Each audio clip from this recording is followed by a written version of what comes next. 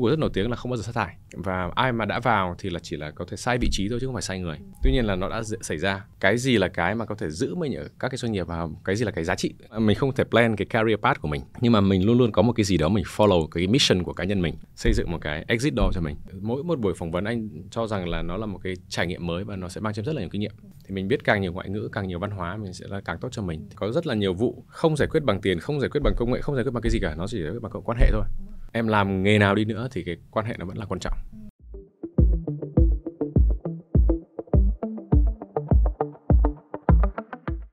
Chào mừng các bạn đến với podcast Việt Success Career. Mình là Thu Bình, host của chương trình. À, đây là chuỗi trò chuyện có chủ đề liên quan đến các bài học, kiến thức và kinh nghiệm trên hành trình phát triển nghề nghiệp cũng như là kỹ năng lãnh đạo. À, và đến với tập ngày hôm nay thì mình rất hân hạnh được giới thiệu vị khách mời của chúng ta, anh à, Miro Nguyễn. À, anh Miro là hiện tại đang là host của chương trình Việt Nam Innovators phiên bản tiếng Việt. Anh là người Việt nhưng mà sinh ra và lớn lên tại Slovakia và trước khi mà trở về Việt Nam thì anh cũng đã từng đảm nhiệm qua nhiều vị trí và vai trò khác nhau như là Head of Large Partner Solution của Google tại khu vực Đông Nam Á anh cũng từng là giám đốc đối ngoại tại FPT, giám đốc hợp danh tại FPT Digital và nhiều vị trí khác tại FPT trong khoảng thời gian mà anh làm việc tại Slovakia và Đức. À, rất là cảm ơn anh Miro Nguyễn vì đã dành thời gian tham dự chương trình ngày hôm nay ạ. À. Cảm ơn Thu Bình và xin chào các bạn à, theo dõi chương trình Việt Success ngày hôm nay. Như những gì mà em vừa giới thiệu về anh đến với khán giả thì có thể nhìn thấy rằng là kinh nghiệm mà anh đã từng làm việc, anh dành rất nhiều thời gian làm việc tại nhiều quốc gia khác nhau như là Slovakia, Đức hay là Singapore và em được biết là anh mới vừa chuyển về Việt Nam sinh sống đúng không ạ?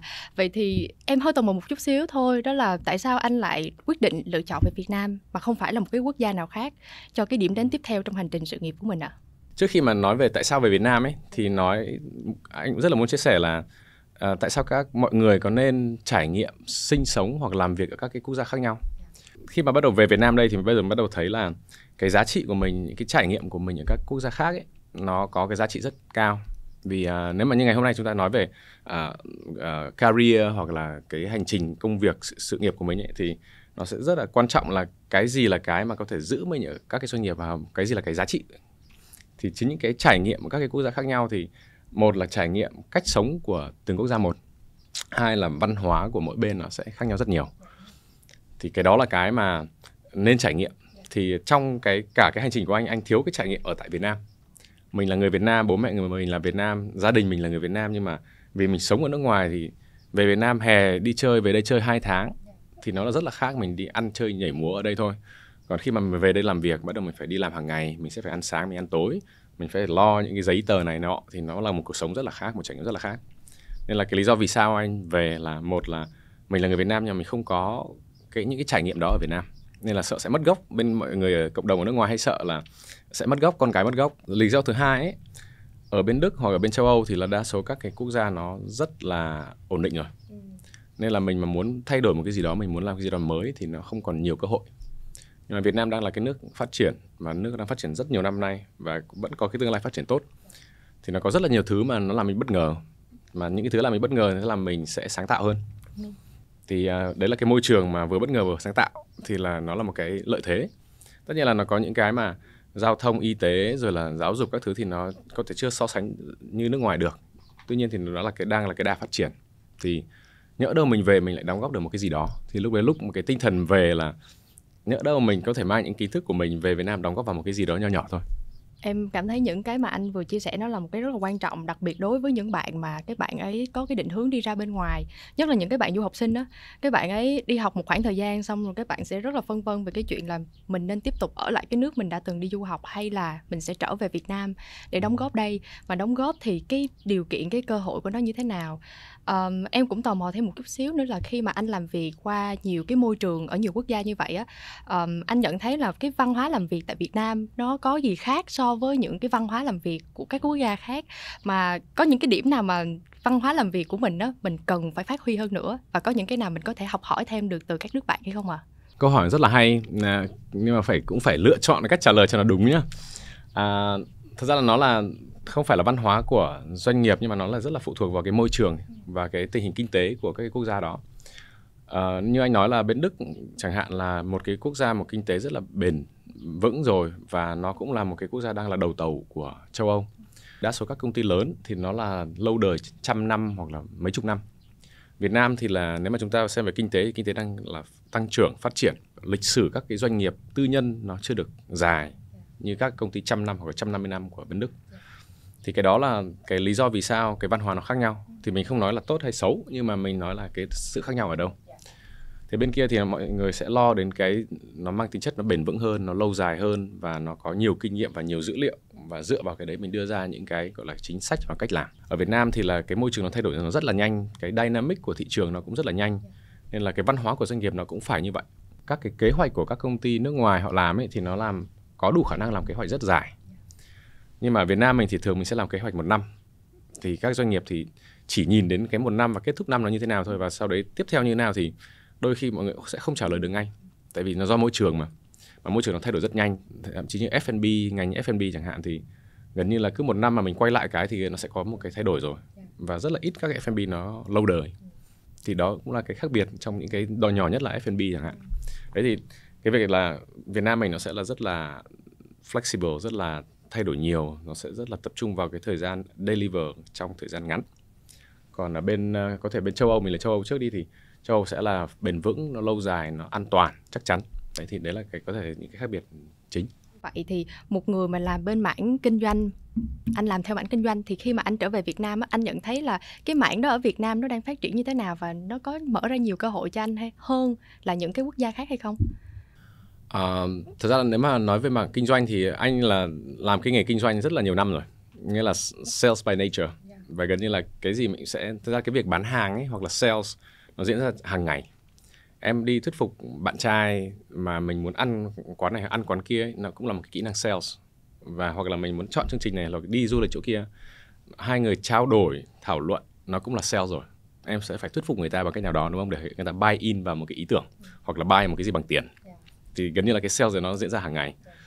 Thì uh, thực ra công việc đối với anh hiện tại Việt Nam thì uh, đến một cái giai đoạn nào đó mình sẽ không theo đuổi một số các cái tiêu chí mà ngày xưa mình mình theo đuổi. Ví dụ như kiểu là chức vụ này rồi là công việc này rồi là các thứ mình sẽ không theo đuổi những thứ đó nhưng mà mình có thể theo đuổi một cái gì đó nó sẽ mang cái giá trị nó cao hơn. Ừ. thời gian vừa rồi thì nó cũng diễn ra một cái global layoff yeah. ở các cái công ty công nghệ. Thì uh, anh cũng là một, một trong những người bị ảnh hưởng. Yeah. thì lúc đấy mình có một cái thời gian mình ngồi suy nghĩ bên này hay có cái, cái, cái thời gian cho mình để mình reflect lại những cái gì đã xảy ra hoặc đang xảy ra thì trong cái thời gian mà nghĩ đó thì um, mình sẽ phải nghĩ là cái công ty hoặc là cái mà mình đang làm nó có giá trị gì to hơn là tiền hay không yeah. Dạ. thì là nó có giá trị ví dụ như kiểu việc em đang làm chẳng hạn thì là nó là có giá trị là em mang những kiến thức mang những cái thông tin cho những người nghe thì đấy nó không thể quy bằng tiền được thì cái đó là rõ ràng là có giá trị mà em đang hướng tới những người đang tìm việc hoặc là có thể là các bạn sinh viên hoặc là những người đang trong đang trong cái tuổi lao động và productive.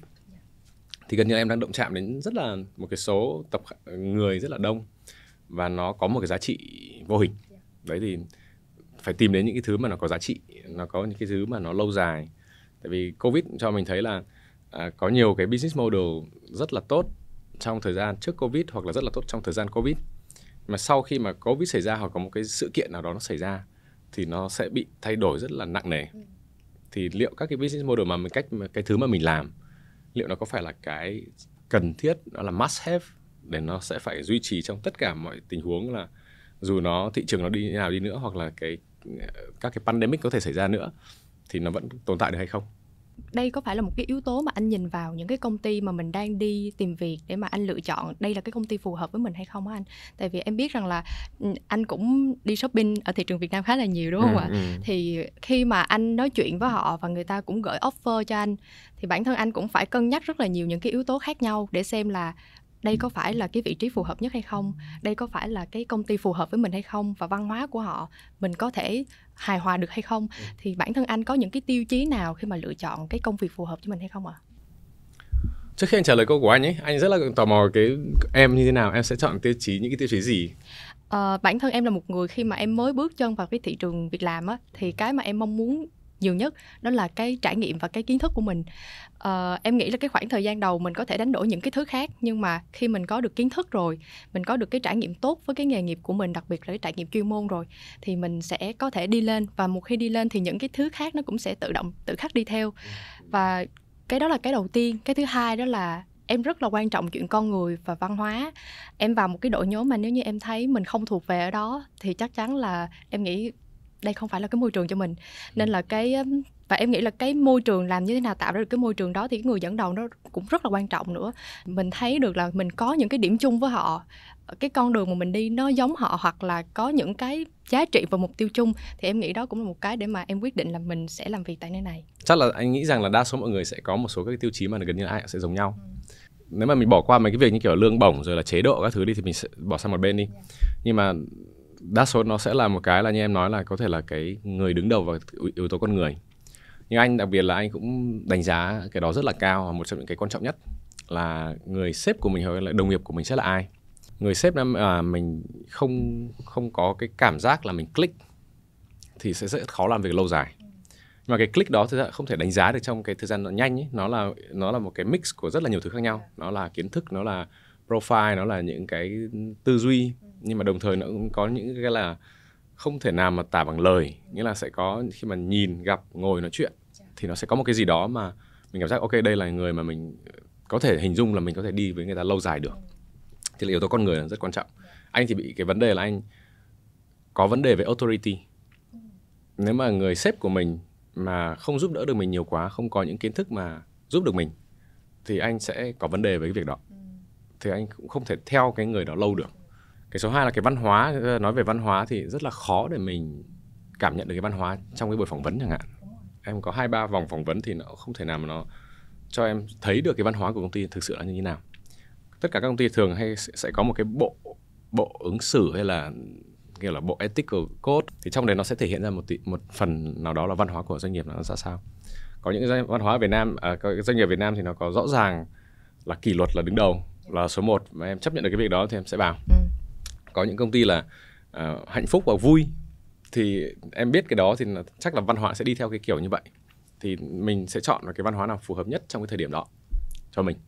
Có những thời điểm em đang cần kỷ luật em đang thích kỷ luật thì lúc đấy là mình sẽ vào những công ty đó. Còn lúc mà mình có thể là có gia đình rồi mình cần cái sự ổn định nó nhẹ nhàng hơn một tí đỡ bị áp lực hơn một tí thì mình sẽ vào những chỗ vui và nó hạnh phúc. Ừ. đấy thì là những cái chỗ mà đấy là liên quan đến văn hóa cái số 3 thì như anh nói là nó cái cái họ làm cái sản phẩm cái dịch vụ họ làm là cái gì liệu nó là cái mà em có thể tự tin đi nói đi bán hoặc là đi cung cấp cho người quen gia đình bạn bè nhà mình có không. Dạ. nếu mà một trong những cái tập nào đó là em trả lời là không ừ. thì có lẽ cái đó là cái không phải là cái chỗ mà em nên làm thì ví dụ như kiểu các cái dịch vụ các cái sản phẩm của mình mình sẽ phải rất tự tin là mình cũng sẽ là người bỏ tiền ra để mua. Dạ. Ví dụ bây giờ bảo anh đi bán iPhone ấy thì chắc rằng anh sẽ đồng ý đi bán iPhone tại vì mình là cái thứ mà mình cũng sẽ mua yeah. Dạ. còn uh, có những cái lĩnh vực mà mình có thể là sẽ không tự tin các thứ thì uh, cái việc bán hàng hoặc là đi đi tiếp cách khách, tiếp cận khách hàng ấy nó là em mang cái mặt của em ra ngoài nó đôi khi nó không phải là cái công ty vẫn là đại diện công ty thôi nhưng mà at the end of the day mọi người sẽ nhớ là nhớ em yeah. và nếu mà họ gắn em với cả em bán một cái gì đó nó chất lượng kém chẳng hạn hoặc là em nói sai hoặc là em oversell thì họ sẽ nhớ nhớ em quay trở về một chút với cái kinh nghiệm làm việc của anh thì em được biết là ngày xưa anh đã từng có một công việc rất ổn định là làm cho đại sứ quán Việt Nam tại Slovakia gần 5 năm nhưng mà sau đó thì anh lại chuyển sang làm cho các tập đoàn công ty về công nghệ rồi từ một người theo đuổi ngành luật học đến tiến sĩ luật luôn nhưng mà sau đó thì anh lại rẽ sang làm mảng kinh doanh em không biết là khi mà anh quyết định thực hiện những cái ngã rẽ như vậy á, có cái điều gì mà khiến anh hoang mang về cái sự lựa chọn của mình hay không ạ à? và cái bài học mà anh rút ra được sau khi mà đã trải qua tất cả những chuyện đó là gì ạ à? có những giai đoạn mình không biết là mình muốn làm gì sau này mình sẽ là ai. Hoặc là bây giờ đặt cho anh một câu hỏi là 10 năm nữa anh sẽ làm gì? Thì anh không biết là anh sẽ làm gì mình sẽ là ai thì mình không rõ lắm. Trước đến giờ nhá ví dụ anh học trung học thì lúc đấy là lại thích muốn theo đuổi ngành y. Anh muốn trở thành bác sĩ. Gần như là lúc em mẹ anh là muốn là có thể đi theo cái con đường đó. Ừ. nhưng mà bố lại bảo là à, nó công việc đấy thì con sẽ phải chuẩn bị sẵn sàng cái việc là 4 giờ sáng 5 giờ sáng nó gọi con đi là con phải đi. Dạ. rồi là gửi một cái gọi là truyền đạt một cái thông tin nó buồn nó không được vui cho gia đình thì liệu mình có handle được cái việc đấy không? Và nó không bị được ổn định tại vì là bác sĩ thì thường cứ theo ca thế này ca nọ ấy, thì nó sẽ không ổn định. Thì bố lại bảo là hay là luật làm học luật đi. Sau đấy anh đi theo ngành luật sau khi mà vào luật thì định là ra trường mình sẽ trở thành luật sư. Và ra trường luật sư là bên Slovakia thì cũng có một cái cộng đồng Việt Nam nhưng mà lại không có luật sư nào mà hỗ trợ họ mới có làm hợp đồng thuê nhà rồi là đăng ký kết hôn rồi là rất là nhiều cái thứ gọi là civil law là à, gọi là luật dân sự thì cũng không có giúp không ai giúp luật thương mại cũng không có ai giúp. Thì đấy cũng là cái định hướng lúc đó. Nhưng mà sau đấy tự nhiên là đại sứ quán Việt Nam mở ở tại Slovakia. Thế là lúc ấy có một cơ hội để có thể hỗ trợ được cái mảng đó thì lại vào mà lúc ấy tự nhiên lại trở thành thích ngoại giao. Thì thích ngoại giao anh đi học thêm cái là quan hệ quốc tế uh, nữa để có cái bằng để có thể là mình sẽ pursue cái career path là ở trong ngoại giao nhưng mà sau khi mà bắt đầu xem sâu hơn vào ngoại giao thì cuối cùng lại chưa có cái duyên đó, thì lúc đấy là FPT lại mua lại một công ty ở bên Slovakia năm 2014 anh đến đấy họp báo và vẫn là cán bộ đại sứ quán hồi đó. Đến họp báo thì gặp các anh, xong rồi cũng thấy là một cái đầu tư, gọi là một trong những cái đầu tư lớn nhất hoặc là acquisition lớn nhất lịch sử của các doanh nghiệp Việt Nam ở nước ngoài. Thì anh cũng thấy là ô cũng hay. Xong rồi bắt đầu vào. Vào đó xong rồi, đấy thì cả quá trình cũng gần 10 năm làm với FPT rất là nhiều cái chỗ khác nhau thì sau đấy lại bước ngoặt tiếp lại từ một cái chỗ mà mình đang rất quen. Con người môi trường mình quen hết rồi. Nhảy sang một cái môi trường là làm quảng cáo. Mà bên Google mà quảng cáo thì anh trước không hề biết một cái gì cả. Thì biết mấy cái từ khóa để mình đi bán hàng được thôi. Nhưng mà để đi sâu vào để mình vận hành một cái gì đó thì mình không có kiến thức. Nhưng mà anh vẫn quyết định là đi theo cái ngành đấy. Bây giờ cái câu idea ở đây là đôi khi cái plan của mình hoặc là cái ý muốn của mình ấy, nó sẽ bị thay đổi trong cái quá trình phát triển ấy plan đến mấy đi nữa ấy, theo kinh nghiệm của anh ấy thì sẽ có một cái gì đó thay đổi. Nó sẽ là công việc nó sẽ là môi trường nó sẽ là những người mình gặp trong cái quá trình đó. Mặc dù anh nói là plan đến mấy nó cũng có thể không đúng theo cái cái mà mình đã mong đợi nhưng anh vẫn sẽ có một cái trục gì đó để giúp cho anh tiếp tục đi theo ở trên cái lộ trình đó chứ đúng không ạ? Không thể nào mà plan ừ. thay đổi là mình mình đổi hướng thì nó cũng rất là khó đúng không anh? Đúng đúng đúng. À, em đúng là xoay vào cái chỗ này thì nó đúng rồi tại vì là đúng là mình không thể plan cái career path của mình nhưng mà mình luôn luôn có một cái gì đó mình follow cái mission của cá nhân mình. Yeah thì cái mission của anh thì từ đầu đến đến bây giờ nó vẫn là như vậy là mình là một người Việt Nam sinh ra ở nước ngoài. Thì là cũng là một thuộc một cái thế hệ có thể là cho là may mắn đi là được trải nghiệm được sinh ra ở, ở nước khác. Nhưng mà mình bản chất là cái gốc mình là người ở quốc gia khác. Thì luôn luôn muốn làm cái gì đó để tận dụng cái kiến thức của mình cái kinh nghiệm của mình và cái môi trường mà mình đã lớn lên và làm sao tận dụng được cho cái chỗ mà mình cái gốc mình ở đâu thì mình giúp được không? Thì luôn luôn là làm sao kết nối được hai cái việc đó. Cái mission số 2 ấy mà mình cảm thấy là uh, give and take luôn luôn nó sẽ có give and take. Give ở đây thì ví dụ như kiểu anh rất là thích trao đổi các bạn trẻ thấy các bạn trẻ sẽ đặt ra những câu hỏi mà mình đã có thể từng trải qua rồi thì mình có thể chia sẻ để các bạn chuẩn bị tinh thần trước. Thì là mình chia sẻ bằng cách nào thì mình sẽ phải tìm ra những công việc gì có thể hỗ trợ các bạn chia sẻ các kiến thức bây giờ mình có rất là nhiều thông tin mà tại sao sao mà mình chọn lọc được những thông tin mà nó tốt nhất cho mình? Thì nó cũng là cái khó. Đấy thì bây giờ là cái mission số 2 là làm sao mình bring những cái thông tin đó một cách dễ dàng nhất, tiện lợi nhất và làm phù hợp nhất cho cho mọi người. Dạ. Anh anh chia sẻ một cái rất là hay rồi bởi vì khi mà mình biết được cái mục tiêu của mình, cái mission của mình nó là cái gì thì có thể là trên cái đường này nhiều thứ nó nó va chạm vào nó khiến mình thay đổi nó đi hướng này đi hướng kia. Ừ. nhưng mà cái trục đó mình cứ đi đi hoài đi hoài thì nó sẽ dẫn tới cái mission của mình. Thì em nghĩ đó là một cái mà những người trẻ như tụi em đang bị thiếu bởi vì tụi em khi mà nói về một cái gì đó xa xôi hơn rất là khó để nghĩ. Blue Venture Series khởi nghiệp thành công chương trình truyền cảm hứng khởi nghiệp từ hành trình thực tế của 18 nhà lãnh đạo thành công. Đón xem vào 20 giờ thứ năm cách tuần trên YouTube Việt Success và các nền tảng podcast như Spotify, Apple Podcast và Google Podcast. Mình ngồi trên bàn ờ, với nhà tuyển dụng mình vẫn là hai con người công bằng. Công bằng ở đây là người ta có quyền hỏi mình nhưng mà mình có quyền hỏi người ta. Nên tập cái việc là mình phải tự tin mình biết đặt câu hỏi. Và thậm chí là mình sẽ đặt câu hỏi cho người ta cảm giác hơi khó chịu một tí mình mà muốn làm tất cả mọi người hài lòng ấy thì mình đi bán kem đi thì đừng làm gì cả um, quay trở lại một chút với cái công việc của anh là anh học tiến sĩ luật nhưng mà sau đó lại làm bản kinh doanh một cái minh chứng rất là rõ ràng cho việc là làm trái ngành đúng không ạ? Và thời đại hiện nay rất rất nhiều bạn trẻ cũng làm trái ngành. Nhưng một cái điều mà em rất ấn tượng đó là anh làm trái ngành nhưng mà anh đã giữ rất là nhiều những cái vị trí cấp cao tại nhiều công ty lớn.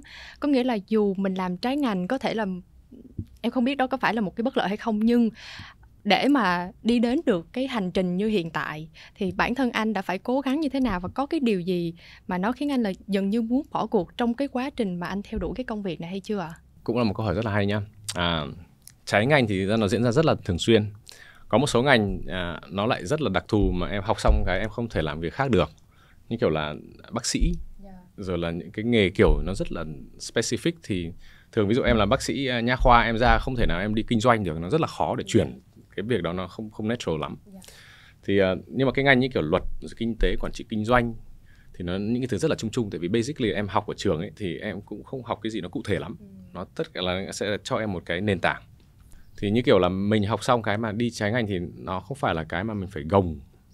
Nó sẽ đến một cách tự nhiên. Tại vì anh bảo là anh là bán hàng thì bán hàng.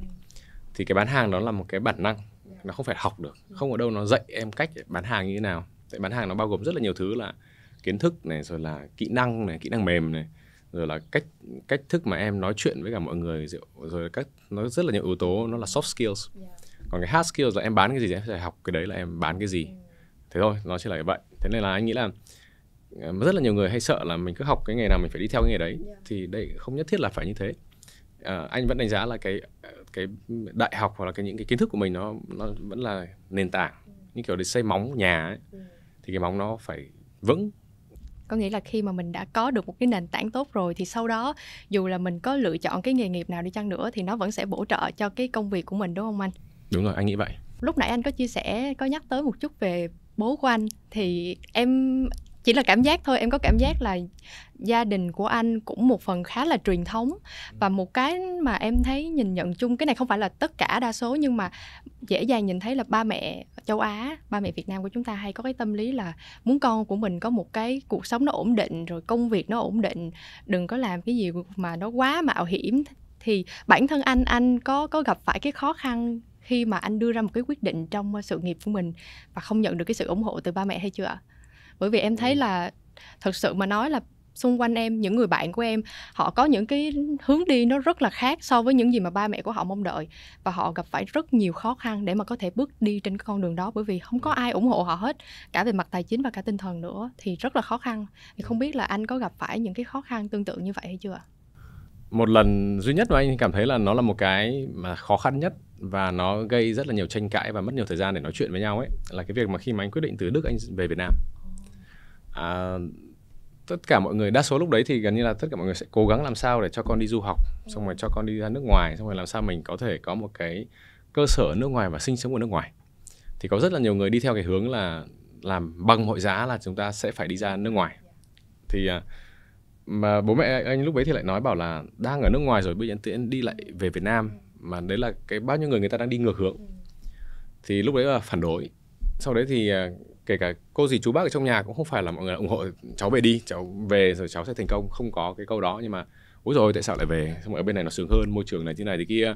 Xong rồi là cũng mọi người cũng đặt câu hỏi là đa số sẽ thiên về cái việc tại sao về không phải là tại sao nên về. Tranh đấu một thời gian thì anh cũng đưa ra một số các cái có, có thể là những cái ờ, lập luận nó cũng cũng, cũng make sense.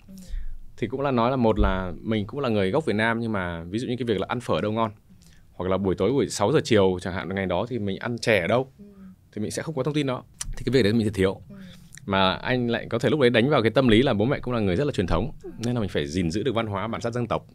Thì nếu mà không có cái đó thì làm sao mà gìn giữ cho con được? Thì cũng là một cái phần. Cái phần số hai là thật ra là anh về cũng là có một cái ờ, cơ hội là làm việc với FPT và với anh Bình trực tiếp với anh Bình thì nó cũng là một cái là đỡ hơn một phần nào đó là yên tâm hơn là ok đây là cũng là làm cho những người có kiến thức người ta đã xây dựng một cái gì đó rất là lớn rồi và cũng là một cái công ty tập đoàn uy tín. Đấy thì cũng là đỡ hơn một phần. Anh nghĩ là một phần nữa anh muốn chia sẻ đây là yeah. Dạ. anh cũng gặp những trường hợp mà bố mẹ hướng cho con con đi theo và sau đấy con không thành công và quay lại mình lại trách bố mẹ. À. À, thật ra là liệu mình có muốn rơi vào tình huống đó hay không? Tất nhiên là như anh ban đầu nói là bố mẹ muốn tốt cho mình nhưng mà đôi khi là nó có nhiều cái lĩnh vực như kiểu bây giờ nếu mà nói với bố mẹ anh là crypto, blockchain ấy, thì không thể nào mà giải thích được nó là cái gì. Nhưng mà nếu mà bố mẹ bảo không được, con không được làm cái đấy, con phải vào ngân hàng và con sẽ phải làm sau cái cửa sổ đấy, là đấy là công việc an toàn. Thì liệu mình có nên đi cái hướng đấy không? Mà trong khi đó thì bây giờ một số các bạn như kiểu blockchain, crypto bạn này cũng đang rất thành công. Thì làm sao mà bố mẹ biết được cái đó? Tại vì cái kiến thức đôi khi nó cũng bị hạn chế bởi cái thời gian như mình là mình tiếp cận được cái thông tin nó tốt hơn nhanh hơn nó là hơn bố mẹ mình. Nhưng mà đấy thì cái điều quan trọng là bố mẹ mình không muốn xấu muốn tốt. Nhưng mà đôi khi nhỡ đâu mà mình không thành công trên con đường đó và bắt đầu mình so sánh ối rồi bạn kia lại tốt hơn mình. Xong rồi là thằng kia ngày xưa học với mình nhưng mà nó lại hơn mình bao nhiêu? Mà nó nó là không nghe bố mẹ và nó đi theo hướng riêng. Thì cái đấy là cũng cái rất là khó để để mình mình xử lý. Nên là nghĩ là um, cái mình chỉ có one life mà mình là người responsible cho cái việc đó mình là người chịu trách nhiệm thì nếu mà anh cũng về anh bảo là nó sẽ bị áp lực là mình sẽ phải chứng minh là là đấy là bước đi đúng để bố mẹ an tâm bố mẹ vui nhưng mà ngược lại là mình cũng sẽ phải à, để ý đến cái việc đó là nếu mà mình bị sai cái thì cái bước tiếp theo nó sẽ là gì yeah. Dạ. luôn luôn luôn có một cái backup phía sau đúng không anh đúng rồi ở trước khi cái cuộc à, nói chuyện đã bắt đầu thì anh cũng đã có chia sẻ về một cái phần mà em cảm thấy rất là tâm đắc đó là khi mà mình tìm kiếm một cái cơ hội mới. Mình gặp gỡ uh, những cái nhà tuyển dụng mình có một cái buổi phỏng vấn với họ. Mình làm sao để mà mình trở nên gọi là nổi bật hơn những ứng viên khác và làm như thế nào để mà mình luôn có cảm giác là mình không có bị mất cái lợi thế cạnh tranh trước mặt những nhà tuyển dụng. Thì bản thân anh khi mà anh đi gặp gỡ đi có những cái buổi phỏng vấn như vậy thì anh làm như thế nào để tạo ra được cái sự nổi bật đó cho bản thân của mình ạ? Thực ra cái này anh học được từ anh anh Bình, chủ tịch FPT và anh cũng như kiểu là người thầy tại vì vừa là làm việc vừa là sếp nhưng mà cũng là người thầy và dạy anh rất là nhiều thứ.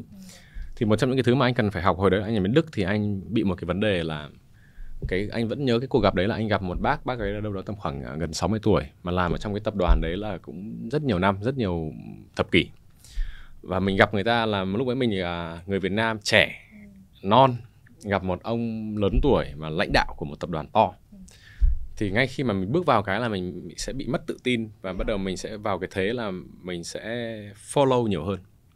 Thì lúc ấy không giải quyết được vấn đề của mình. Thì sau đấy thì anh cũng có chia sẻ cái việc này với anh anh Bình.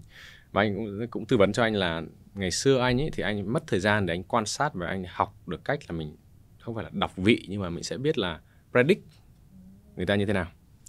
Và sau đó anh dạy anh một số các cái cách có thể master mình trong cái việc đó thì uh, thực ra là cũng sẽ phải mình sẽ phải master trong cái việc là không phải tự tin nó tự đến với em đâu nhưng mà em sẽ phải tập luyện em phải rèn luyện thì nó sẽ tăng lên thì anh cũng sẽ anh cũng đã practice rất nhiều lần và mình sẽ phải làm sao mà khi mà mình bước vào một cái phòng mà mình gặp người đó lần đầu tiên ừ.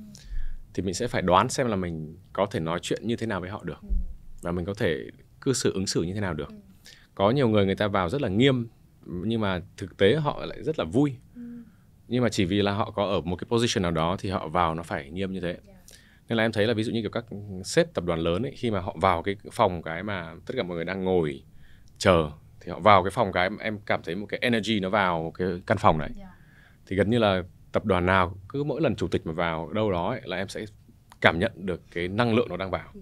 đúng không thì tất cả mọi người sẽ tập trung hết vào một chỗ đấy và yeah. sẽ, em cảm nhận được năng lượng đó thế bây giờ là mình sẽ master mình không phải là chủ tịch mình không phải là gì cả nhưng mà làm sao mình cũng mang được cái năng lượng nho nhỏ vào cái phòng đấy thì uh, đấy đấy là một cách mà là trước khi mình vào cái phòng đó thì mình cũng sẽ phải train và rèn luyện để làm sao mình đủ tự tin mình bước vào cái phòng mà mình sẽ có năng lượng mang theo yeah. Dạ. chứ không phải là mình sẽ người đi hút năng lượng ừ. em vào vào phòng rụt rè rụt rè xong rồi cúi cúi vâng vâng dạ dạ ừ.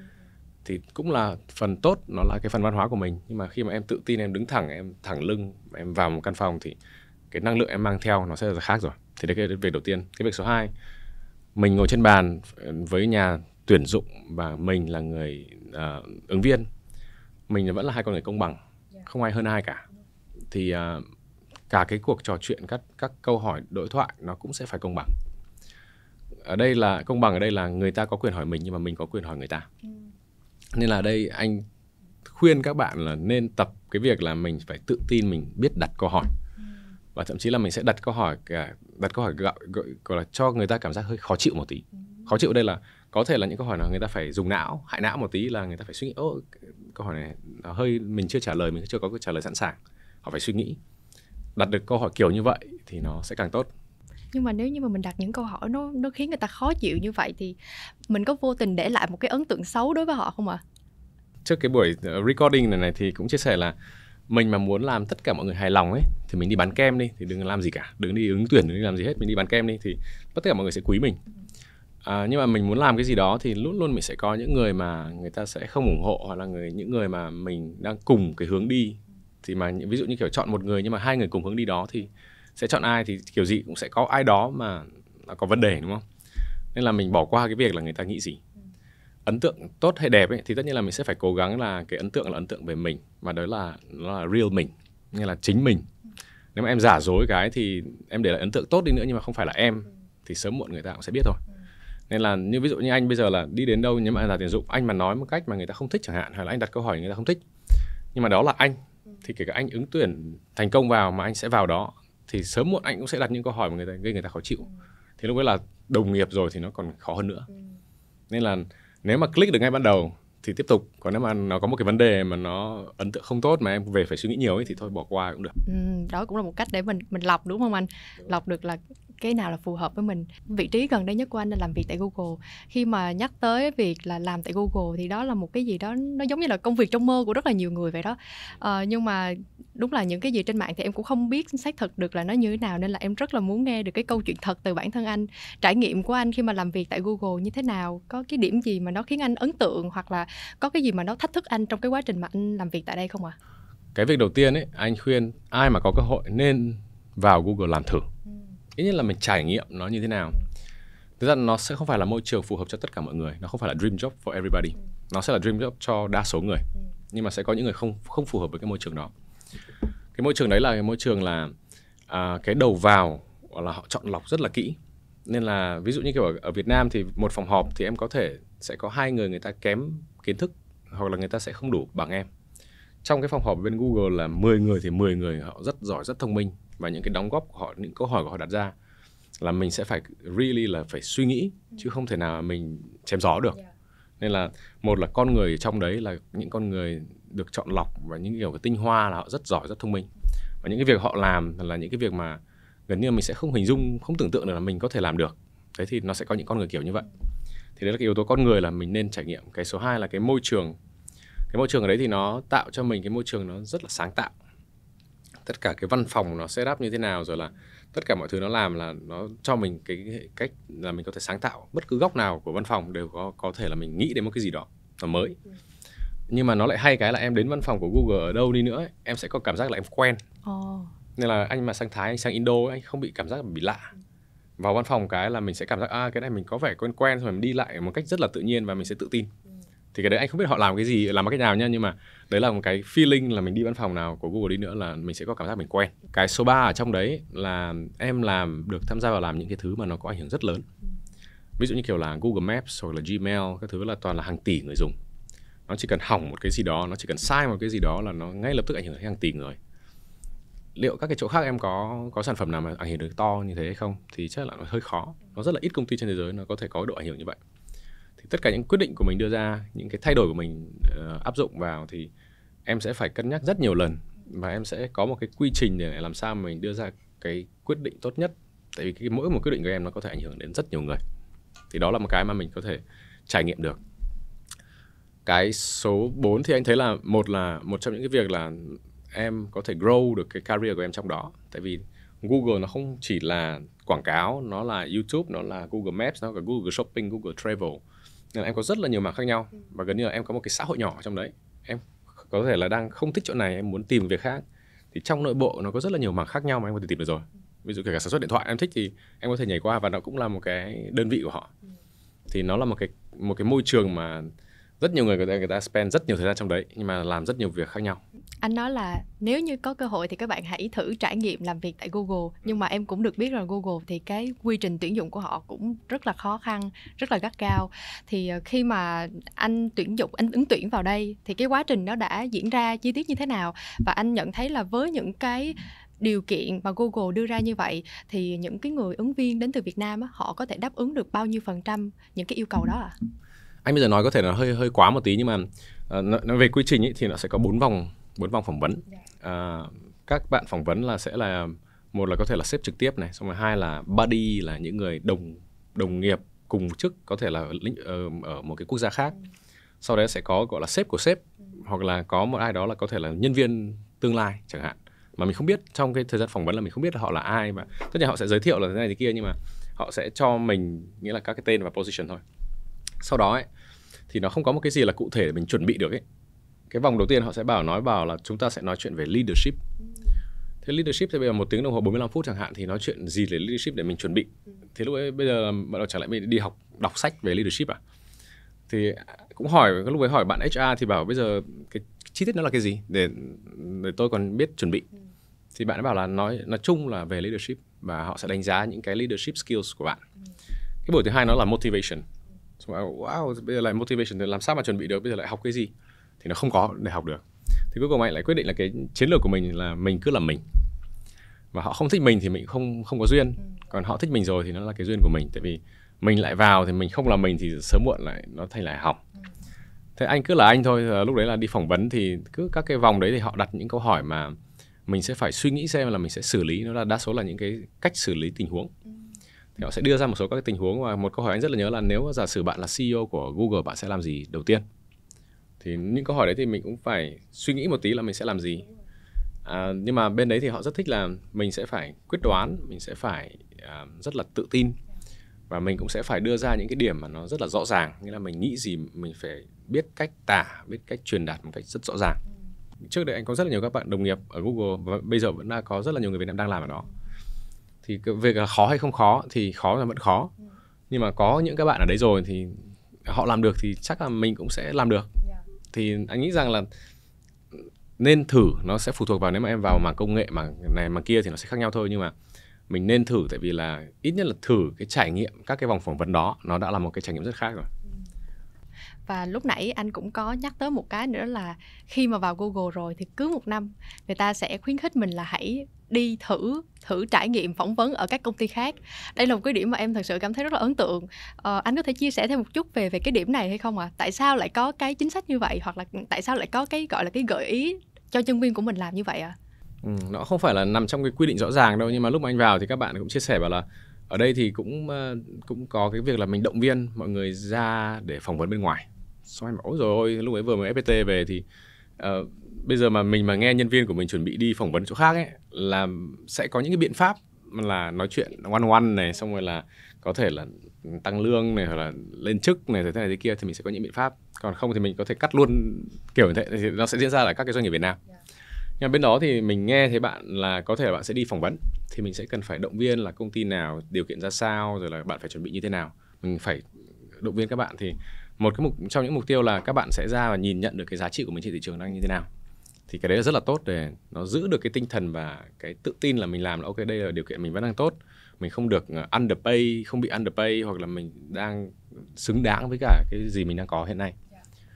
Cái số 2 nó là cũng là master cho mình cái việc mà mình đi giao tiếp nói chuyện rồi các thứ. Tại vì là mỗi một buổi phỏng vấn anh cho rằng là nó là một cái trải nghiệm mới và nó sẽ mang cho rất là nhiều kinh nghiệm. Em mà biết rút những cái kinh nghiệm từ đó ra ấy thì uh, hiện nay cũng có rất là nhiều các cái dịch vụ khác nhau là họ sẽ train em làm sao để em pass the interview.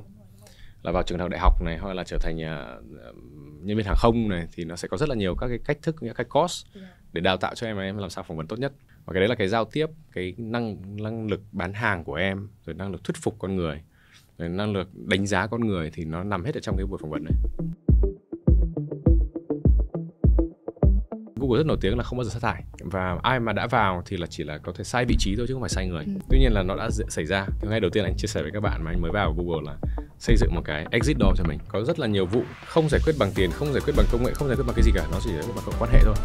Em làm nghề nào đi nữa thì cái quan hệ nó vẫn là quan trọng. bản thân anh nhắc đến một cái từ khóa rất là quan trọng đó là cái năng lực bán hàng năng lực đưa những cái giá trị của mình đi thì uh, em nghĩ rằng là cái này nó nó phải là một cái chuỗi hành trình mà anh phải trải qua rất là nhiều những công việc khác nhau phải gặp gỡ người này người khác đúng không ạ? Và ngay cả bản thân anh là người làm những cái vị trí mà cần rất là nhiều đến cái kỹ năng này kỹ năng bán hàng kỹ năng giao tiếp kỹ năng mở rộng mối quan hệ. Ờ, thì em rất là tò mò là bản thân anh ngay từ những cái ngày đầu anh đã tự mình cải thiện cũng như là thành thạo cái kỹ năng này như thế nào? Bởi vì em biết rằng là dù ở thời đại nào đi chăng nữa thì giao tiếp và mở rộng mối quan hệ là một cái kỹ năng rất quan trọng để mà thứ nhất là mình cũng thăng tiến nhanh hơn mình cũng mở ra nhiều cái cơ hội mới hơn để mình hợp tác kinh doanh cũng như là phát triển cái nghề nghiệp của mình. Thì uh, dành cho những bạn mà vẫn đang trong cái con đường phát triển nghề nghiệp đó thì anh dành lời khuyên hay là anh có những cái chiến lược nào để mà giúp mình có thể tự cải thiện hai cái kỹ năng quan trọng này à? Em biết được người mới thì mỗi một người sẽ có một cái background khác nhau và nếu mà em học hỏi được hay là em tìm hiểu được hơn về cái đó thì đó là một cái kiến thức của em rồi mà em biết nhiều ngoại ngữ thì em có thể nói chuyện với cả người Hàn, người Nhật, người Trung, người người châu Âu các thứ thì em sẽ lại biết hơn về họ. Thì họ background của họ rất là khác, môi trường của họ lớn lên họ rất là khác thì mình biết càng nhiều ngoại ngữ càng nhiều văn hóa mình sẽ là càng tốt cho mình thì nếu mà dịch ra cả về là biết càng nhiều người thì cũng càng tốt cho em. Đôi khi người ta bảo là em biết nhiều quá thì không tốt. Nhưng mà ở đây thì nói về con người ấy, thì là mỗi một con người sẽ có một cái giá trị nào đó. Có thể họ uh, về mặt tài chính họ kém hơn mình hoặc chức vụ họ kém hơn mình có những người cao hơn mình. Nhưng mà những người kém hơn họ cũng có những cái giá trị họ có những cái value mà mình mình có thể học được. Thì nên cố gắng làm sao mình mình đi tiếp xúc với cả nhiều người tại vì đa số mà em thấy là những người mà chỉ có một cái một cái small circle hoặc là một cái group nhỏ nhỏ thôi ấy, thì một là em sẽ tiếp cận thông tin nó sẽ không không quá nhiều này. Hai là những cái trải nghiệm của của em chưa chắc là nó đã đầy đủ.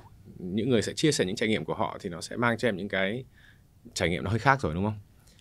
Cái số 3 ấy là mở rộng quan hệ nó luôn luôn là một cái sẽ hỗ trợ cho em trong tương lai. Vì tất cả mọi thứ nó sẽ liên quan đến quan hệ. Và cái quan hệ nó sẽ gần như là có rất là nhiều vụ không giải quyết bằng tiền, không giải quyết bằng công nghệ, không giải quyết bằng cái gì cả, nó chỉ giải quyết bằng quan hệ thôi. Thì cái đó là cái mà đi đâu và gần như là quốc gia nào và văn hóa nào của họ cũng sẽ confirm là cái quan trọng nhất là về cái quan hệ. Thì quan hệ nó đi theo cái việc là cái uy tín mà em em xây dựng được. Thì anh nghĩ là em làm nghề nào đi nữa thì cái quan hệ nó vẫn là quan trọng khi mà em muốn đào sâu vào cái kỹ năng là mở rộng mối quan hệ này ngoài cái việc là mình cố gắng tìm kiếm những cái cơ hội để mình gặp người mới mình gặp những cái người giỏi hơn mình thì cái cách mà làm như thế nào để mình xây dựng cái sự tự tin và từ đó mình gặp họ mình có chuyện để mình nói với họ. Em nghĩ cái đó cũng là một cái rất là chi tiết mà em rất là muốn nghe từ anh chia sẻ ừ, ừ, đúng đúng. Có một số bạn anh có một số bạn ấy bạn ấy đến sự kiện nào cái là anh không hiểu làm sao. Mình chưa kịp lấy một ly nước ấy bạn ấy đã quen hết một nửa rồi. Mà rất là nhanh nghĩa là anh không hiểu là bạn ấy làm bằng cách nào mà có những cái cách thức nào mà nó nhanh như vậy. Nhưng mà đấy là tính cách của bạn ấy, bạn rất thích đi những cái chỗ mà đông người và nhiều người mới.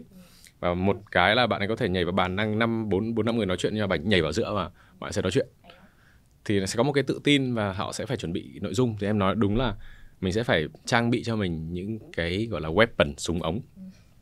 Thì cái weapon của mình ở đấy là gì là một là em sẽ phải có những cái nội dung rất đa dạng để em có thể tiếp khách, tiếp chuyện với rất nhiều đối tượng khác nhau. Trước đây anh có một cái vấn đề là các bạn lớn tuổi ở bên đức ấy các bạn thích uh, orchestra này xong rồi là thích văn hóa nghệ thuật này và cái đấy mình làm sao không đủ kiến thức để mình nói mà không thể nào mà 30 phút mình nói nói về ballet hay là nói về kiểu như vậy được. Thì lúc đấy thì mình sẽ phải là một là thường xuyên thay vì cái thời gian mình spend ở trên tiktok và xem những cái thứ linh tinh chẳng hạn thì mình có thể xem tiktok nhưng mà có những cái thông tin nó bổ ích. Ừ à, liên quan đến uh, văn hóa chẳng hạn hoặc liên quan đến nghệ thuật rồi liên quan đến các thứ thì gần như là mình sẽ phải đọc rất nhiều. Ừ. mình sẽ phải thu thập rất nhiều thông tin để làm sao mình sẽ up to date với tất cả những lĩnh vực đang xảy ra. Như kiểu bắt trend ấy kiểu như vậy. Nhưng mà thực ra là nội dung nó phải đi sâu hơn một tí. Ừ. thì uh, cái một trong những quan trọng nhất như em nói đúng là cái nội dung của mình cái kiến thức của mình có hay không để mình có thể nói chuyện được. Ừ. rất nhiều người sẽ không tự tin khi mà mình vào một cậu một cái môi trường và nó là cái lĩnh vực mà mình sẽ không biết không biết nhiều thì mình sẽ sẽ thôi thà im còn hơn là là nói. Nhưng mà cái đấy là cái mà mình sẽ phải master nghĩa là thời gian dành cho cái việc là đọc sách xem rồi là nghiên cứu thì mình sẽ có rất là nhiều các cái kiến thức mà mình có thể nói chuyện được. À, em nghĩ rằng là khi mà trước khi mà mình bước vào một cái cuộc nói chuyện nào dù là ai đi chăng nữa mình phải có nội dung trước cái đã đúng không ạ? Mình không có nội dung thì chắc chắn là ok là trong thời gian đầu mình có thể nói những cái phớt phớt ở trên nhưng mà em nghĩ những người mà họ có kiến thức họ sẽ nhận ra ngay là ờ, bạn này thực sự là người có nội dung hay không. Um, quay trở lại một chút lúc nãy anh có nhắc tới cái làn sóng sa thải tại Google và anh cũng là một người bị chịu ảnh hưởng thì em em không biết là cái quá trình này nó diễn ra như thế nào khi mà nó nổ ra tại Mỹ là vào tháng 1 và sau đó thì nó ảnh hưởng đến như thế nào ở uh, các công ty tại châu Á. Và bản thân anh khi mà anh nhận được cái tin này anh đã trải qua cái cái gọi là cái mô mình đó như thế nào và anh đã chuẩn bị cho mình một cái tâm thế như thế nào để khi mà mọi thứ nó diễn ra anh vẫn rất là bình tâm để mà có thể xử lý nó? Đúng như em nói là tháng 1 nó diễn ra bên Mỹ sau đấy là có thông tin là nó sẽ triển khai ở các cái quốc gia khác. Thì tất cả những thứ đấy đều đều mọi người công khai hết ở trên báo chí và các thứ. Nhưng mà uh, trong cái thời gian đấy là người bên ngoài thì người ta sẽ không trải nghiệm không cảm xúc không có cảm xúc với cái việc đó. Nhưng mà mình trong nội bộ thì mình sẽ có những cái cảm xúc nó hơi hơi bất an hơi khó chịu hơi nó nó không ổn định. Thì cái tinh thần làm việc nó sẽ gắn liền với cả cái việc là cái tinh thần hiện tại của mình đang như thế nào thì cái cách làm việc của mình cái delivery của mình nó sẽ như ra sao. Ở góc độ là mình cũng quản lý các bạn. Và người quản lý thì mình cũng sẽ phải làm sao chia sẻ tạo môi trường cho các bạn để các bạn có thể thoải mái nhất có thể. Và làm sao mình giúp được cái gì thì gần như là à, cái quá trình đấy mình chỉ đón nhận thông đón đón nhận thông tin thôi mình không có cái gì để mình giúp được cả. Nên mình chỉ có ngồi chờ thì cái thời gian này rất là khó. À, nhưng mà anh thì cũng không phải là thời gian quá lâu gắn bó với cả bên Google nhưng mà mọi người sẽ hay có những cái buổi để chia sẻ reflect lại là mình đã làm gì thế này thì kia thì mình có thể thay đổi cái cái luồng suy nghĩ nó lệch sang một bên một tí. Thì mọi sẽ cái động viên là thôi đi nghỉ đi xong rồi là đưa gia đình đi chơi đi thế này thì kia để mình đỡ đỡ để để tâm vào cái cái cái, cái, cái chủ đề này.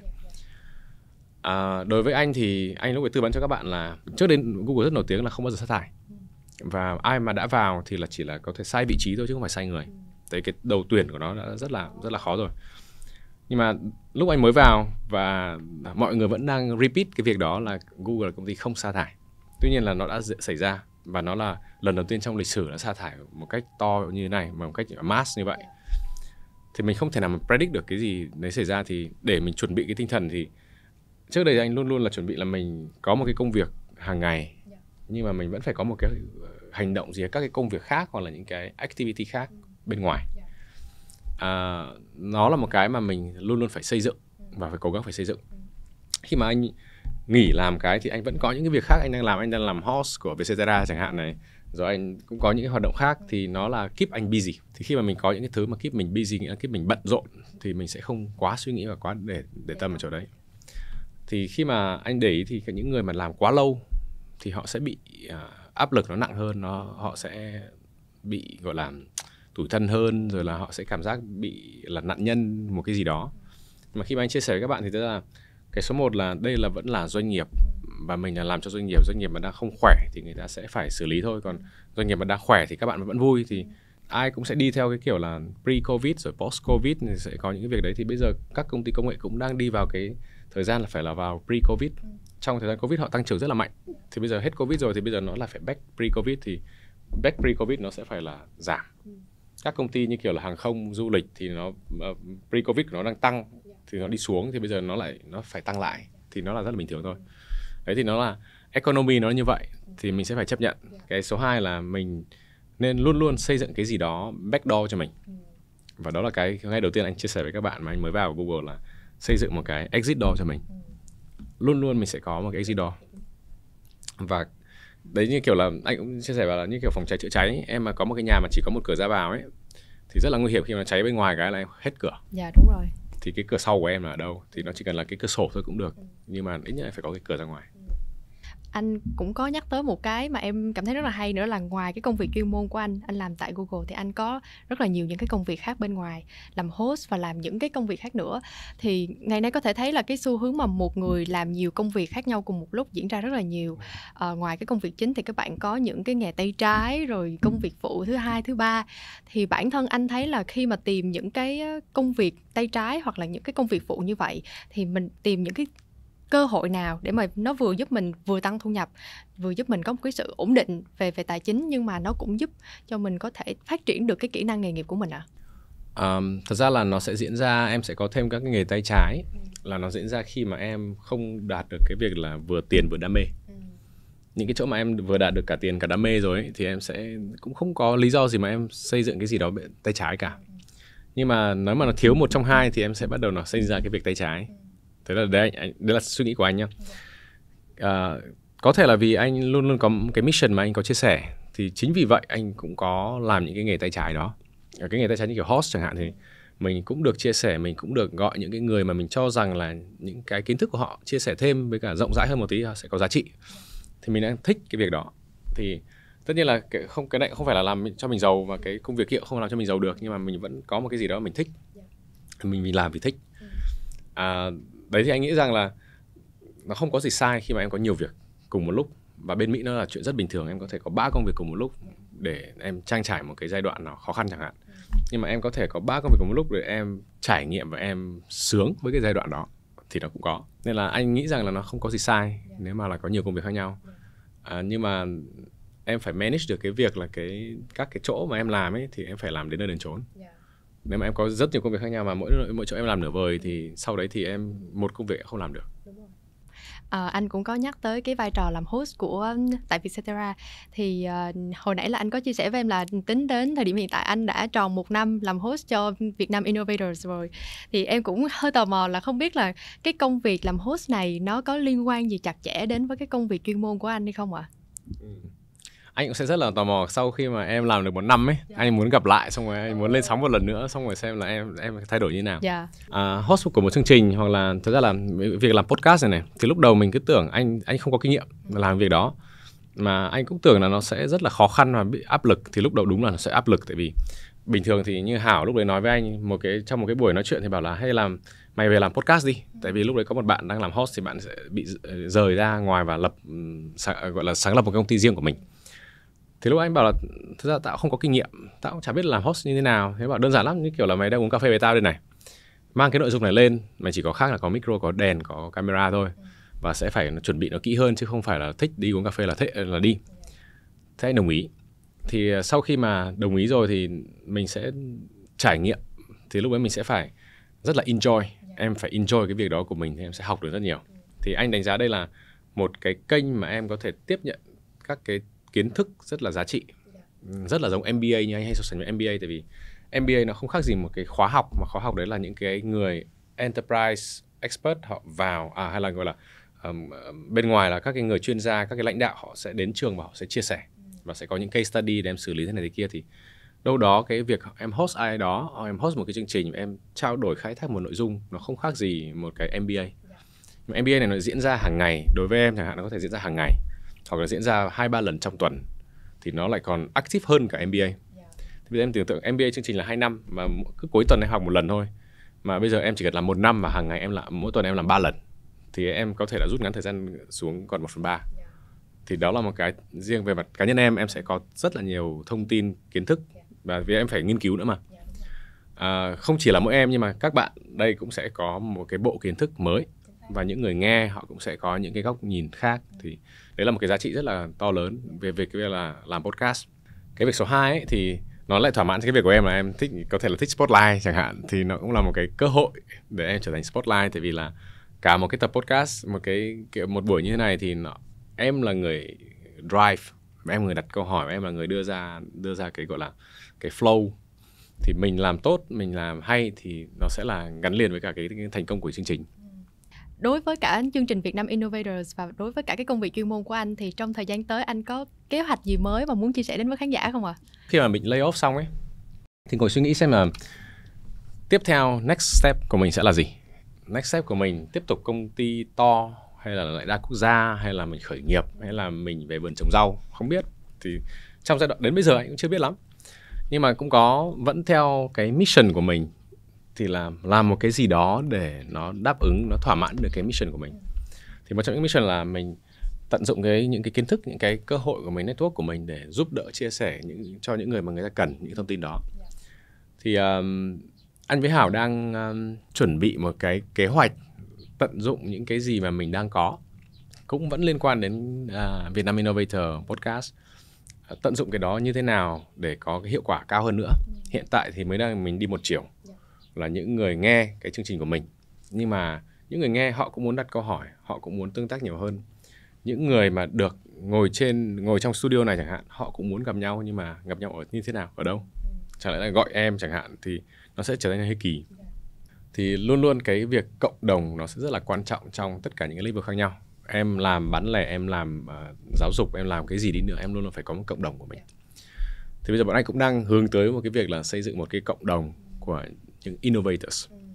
Thì uh, cái đó là cái là một là sẽ mình sẽ có những kiến thức những kinh nghiệm của người đi trước uh, đã fail ở chỗ nào. Sẽ có rất là nhiều các bạn startup founders đã xuất hiện trên uh, Việt Nam Innovator Podcast.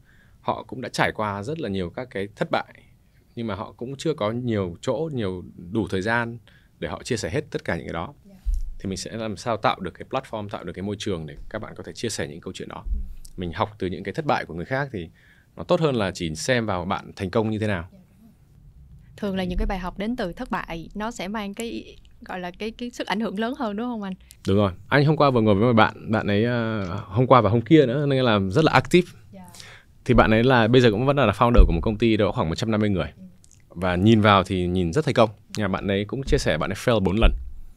Bạn cứ fail đi fail lại nhưng mà để fail đi fail lại như vậy mà để bạn ấy sau đấy là cái thứ năm là thành công ấy thì nó là một cái là tìm động lực ở đâu năng lượng từ đâu ra mà bây giờ mình lại không bị cái việc là ôi rồi ôi lại thành lại thất bại rồi mà thất bại một lần là khó xong rồi thất bại lần thứ hai xong rồi em vẫn tiếp tục đi được. Thì đấy là những cái mà mình cần phải học từ những người đó. Bạn ấy có thể ít tuổi hơn một tí nhưng mà bạn những cái trải nghiệm đó thì mình không có. Mình là làm ở corporate chẳng hạn thì mình sẽ không có những trải nghiệm là thất bại mình mất tiền mình ờ, cần phải giải thể công ty nó sẽ như thế nào. Yeah. thì đã trải qua rồi thì sẽ có những cái người như thế này sẽ có những cái uh, câu chuyện sẽ có những cái trải nghiệm kinh nghiệm của những người đó để họ chia sẻ rộng rãi hơn và có cái độ tương tác cao hơn. Yeah. Um, thì em cũng rất là hào hứng về cái kế hoạch này của anh và cũng hy vọng rằng là cái việc xây dựng cộng đồng tại vì em nghĩ việc xây dựng cộng đồng cho những người mà họ có niềm đam mê với khởi nghiệp và kinh doanh tại Việt Nam nó vẫn còn chưa có quá nhiều. Nên là em rất rất là mong muốn rất là hy vọng là cái kế hoạch này trong thời gian tới của anh sẽ có thể diễn ra thành công và tốt đẹp ha. À, cảm ơn anh Miro Nguyễn rất là nhiều vì đã dành thời gian tham dự chương trình ngày hôm nay. À, vâng và vừa rồi là chia sẻ của anh Miro Nguyễn à, về những bài học những câu chuyện mà anh anh đã đúc rút được sau rất là nhiều thời gian anh làm việc tại nhiều quốc gia khác nhau. Hy vọng rằng là với những chia sẻ vừa rồi của anh Miro Nguyễn đã giúp cho các bạn khán giả có thêm những góc nhìn mới cũng như là tự rút ra cho mình những bài học để có thể áp dụng vào việc phát triển bản thân, phát triển kỹ năng, phát triển tư duy để từ đó có thể xây dựng được một con đường sự nghiệp vững chắc hơn. À, nếu như mà các bạn yêu thích nội dung của chương trình ngày hôm nay thì hãy ủng hộ chúng tôi bằng cách là nhấn nút đăng ký kênh Việt Success và theo dõi chúng tôi trên các nền tảng podcast khác như là Spotify, Apple Podcast hay Google Podcast. Cảm ơn mọi người rất là nhiều vì đã dành thời gian cho chương trình ngày hôm nay và hẹn gặp lại các bạn ở những tập tiếp theo.